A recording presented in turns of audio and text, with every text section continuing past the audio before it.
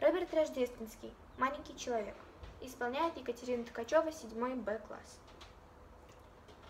На земле безжалостно маленькой жил-да был человек маленький. Была у него служба маленькая и маленький очень портфель. Зарплату он получал маленькую, и однажды прекрасным утром постучалась к нему в окошко небольшая, казалось, война. Автомат ему выдали маленький, сапоги ему выдали маленький, каску ему выдали маленькую. И маленькую по размеру шинель. А когда он упал, некрасиво, неправильно, в атакующем крике, вывернув рот, то на всей земле не хватило мрамора, чтобы вырубить парня в полный рост.